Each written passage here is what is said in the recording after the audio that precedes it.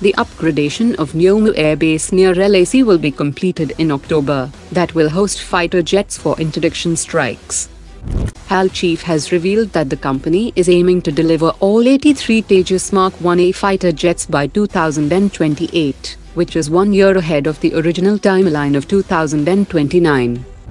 Hindustan Aeronautics has strategically allocated 15% of its profits to fuel research and development initiatives.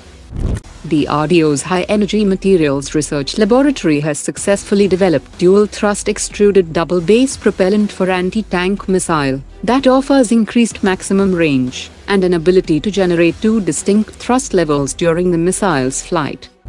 The Indian Army is facing a gap of weapon locating radars, and addressing this gap is crucial for the Indian Army to enhance its artillery's effectiveness. Edith Defense Systems has secured second place in the DRDO organized Dare to Dream 4.0 award competition by developing a miniaturized radar payload designed for the Defender X2 unmanned aerial vehicle.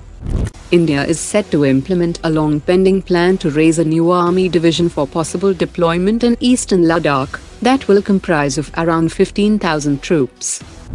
Indian Air Force's helicopter crew deployed in counter-terror environment and internal security duties will get new light bulletproof jackets.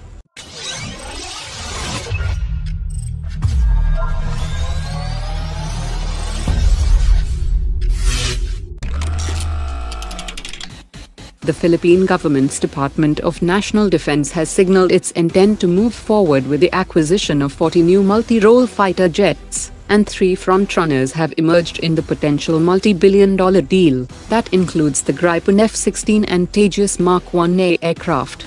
Department of National Defense will now evaluate each contender based on factors such as capability cost and interoperability after developing an ATAGS-based 155mm 52 caliber truck-mounted gun system, Bharat Forge has started work on a powerful 155mm 45 caliber truck-mounted gun system that is based on the company's existing MArG 155 ER towed howitzer. It is yet to be confirmed whether this development caters to the specific requirements of the Indian Army or an export client. The Vice Chief of Indian Navy has said that the TED-BF program is progressing as per a carefully crafted plan, and the first flight is anticipated within the next three to four years. The full-scale engineering development funding has yet to receive approval, and the Navy will pursue budget reallocations through established channels.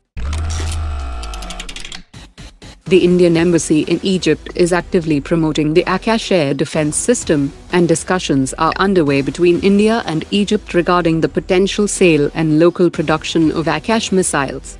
If successful, this deal could mark the second export deal for the Akash weapon system after Armenia.